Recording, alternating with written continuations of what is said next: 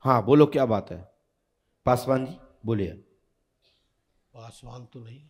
कौन जाती है? शर्मा है। शर्मा है? तो पर्चा लिखना पड़ेगा आपका। तो समस्या क्या है? बोलिए आप सुनाइए हनुमान जी को।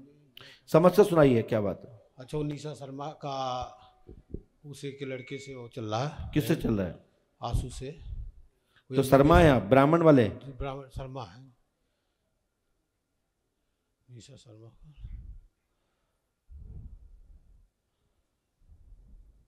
गलत लिखा है? जी। चश्मा लगा लो। माइक नीचे रखो। अब पढ़ो।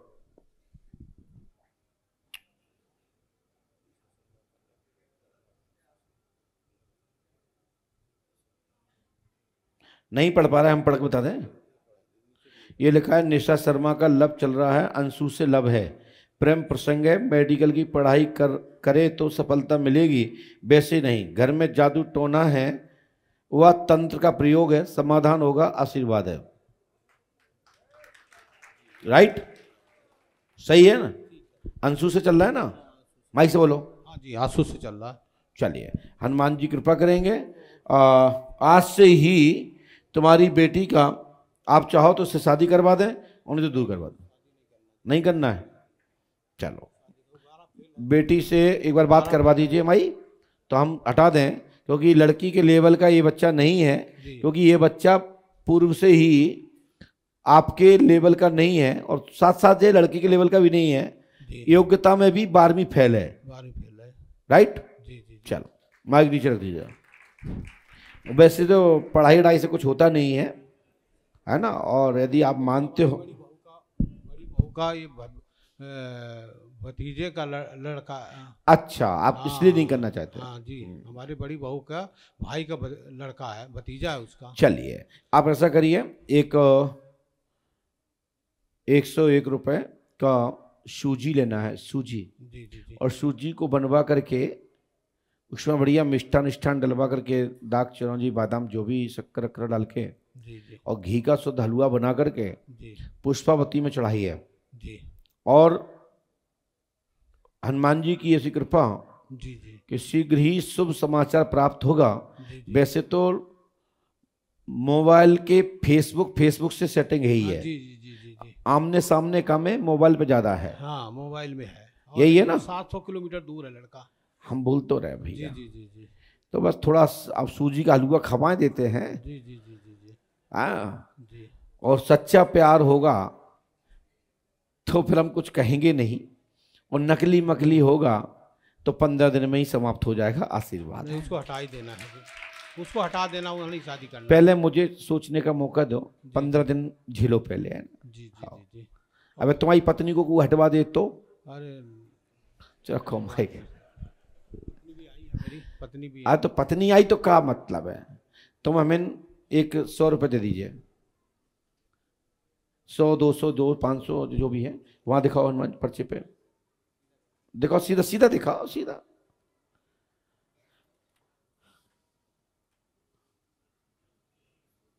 वाह।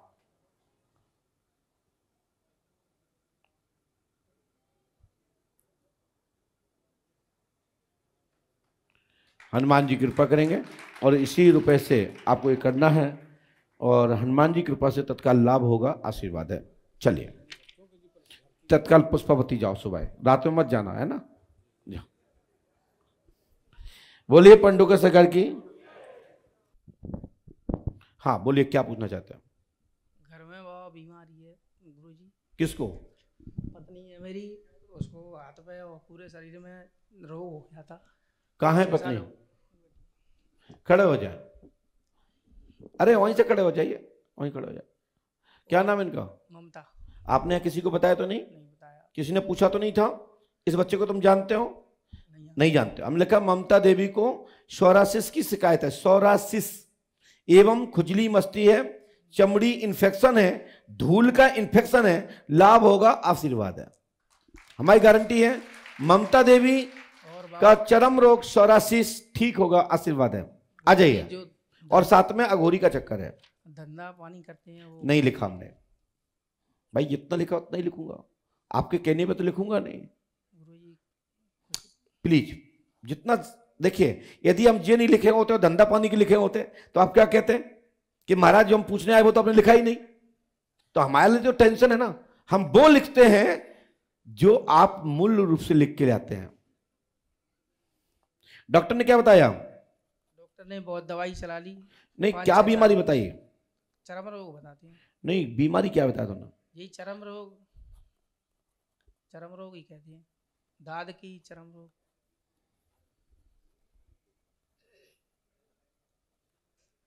जाओ इन्फेक्शन आज से ठीक होगा। घर में लड़ाई दंगा मचाए वो नहीं लिखा हमने। बच्चे हैं अपने के यही रोग है वो। जाओ ये हमारी गारंटी लाभ हो जाए। अघोरी का चक्कर है।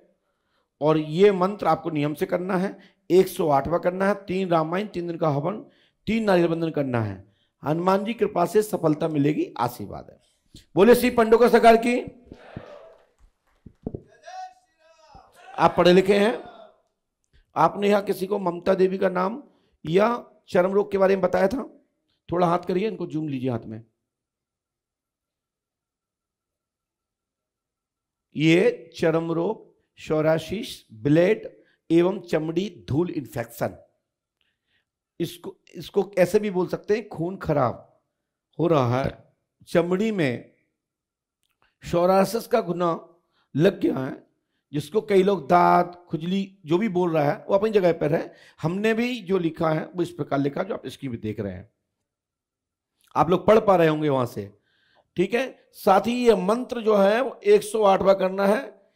तीन रामायण तीन दिन का हवन तीन नारियल बंधन करना है। 108 बार करना है गारंटी हमारी है लाभ हो जाएगा आशीर्वाद है। जो आपने अतिरिक्त पूछा है बच्चों की पढ़ाई बच्चों का स्वास्थ्य घर में कलेश वो हमने नहीं लिखा। यही बीमारी है वो बच्चे में ठीक हो जाएगा मैं बोल तो रहा हूँ। स्वास्थ्य मन में वही बात बोल रहा हूँ। थोड़ा दिमाग खोल के बैठो। हैंग मत हो क्राफ्ट हो जाओगे फालतू के। चलिए, हनुमान जी कृपा करेंगे, पहुंचिए, जाइए। बोलिए, श्री पंडोकर सरकार की सदगुरुदेव श्री अतिमान जी महाराज की।